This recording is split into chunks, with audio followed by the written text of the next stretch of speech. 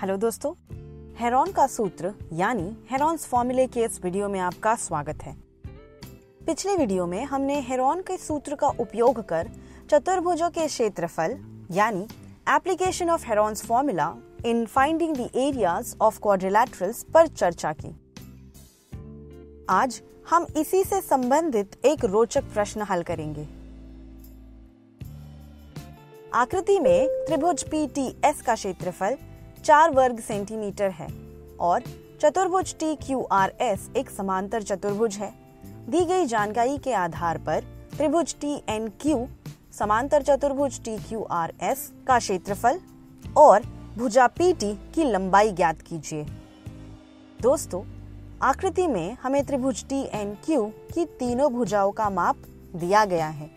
इसमें हम हेरोन के सूत्र का उपयोग कर इस त्रिभुज का क्षेत्रफल आसानी से ज्ञात कर सकते हैं। सबसे पहले हम इसका अर्ध परिमाप यानी एस ज्ञात करेंगे। तो चलिए, भुजा टी एन की लंबाई को ए भुजा एन क्यू की लंबाई को बी और क्यू टी की लंबाई को सी मान लेते हैं।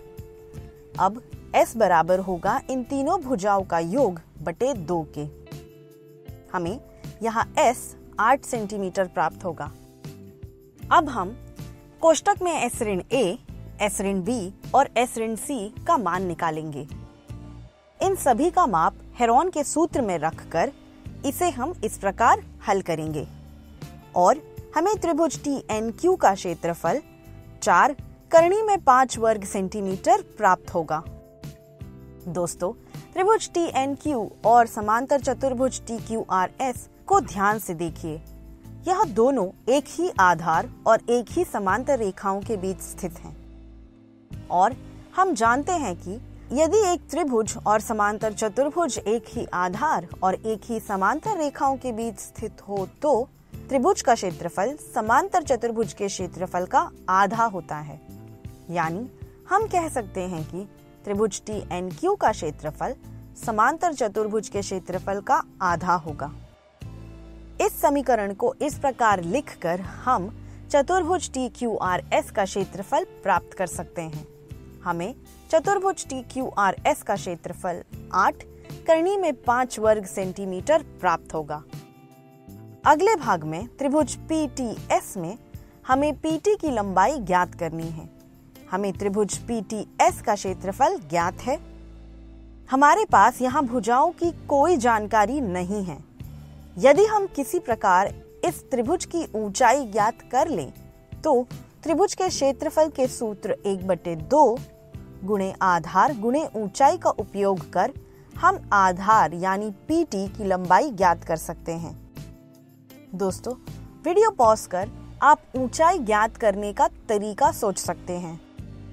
हमें त्रिभुज टी एन क्यू का आधार टी क्यू सात सेंटीमीटर दिया है और हमने इसका क्षेत्रफल चार, करणी में पाँच वर्ग सेंटीमीटर प्राप्त किया।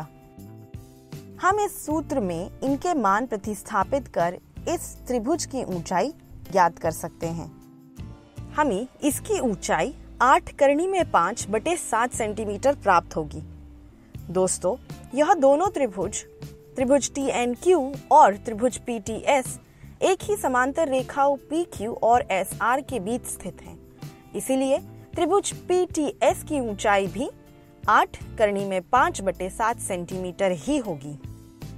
अब हम इस समीकरण में क्षेत्रफल और ऊंचाई का मान प्रतिस्थापित कर पीटी यानी आधार आसानी से ज्ञात कर सकते हैं। वीडियो पॉज कर आप इसका प्रयास करें। यहाँ हमें पीटी की लंबाई सात बटे करनी में पाँच सेंटीमीटर प्राप्त हुई। दोस्तों आप देख सकते हैं कि इसके हर में एक अपरिमय संख्या, यानी करनी में पाँच है। यदि आप यहाँ करनी में पाँच का यह मान रखेंगे तो उत्तर प्राप्त करने में आपको कठिनाई होगी। हम यहाँ अंश और हर दोनों में करनी में पाँच से गुणा कर इसका परिमेयकरण कर सकते हैं, जिससे हमें हर में एक परिमेय संख्या प्राप्त होगी। तो अब हमें पीटी की लंबाई सात करनी में पाँच बटे पाँच सेंटीमीटर प्राप्त हुई। दोस्तों, इस सत्र में बस इतना ही। आज हमने हेरोन के सूत्र का प्रयोग कर एक प्रश्न हल किया। अगले सत्र में हम और भी दिलचस्प प्रश्नों को हल करेंगे। तो मिलते हैं अगले वीडियो में। धन्यवाद।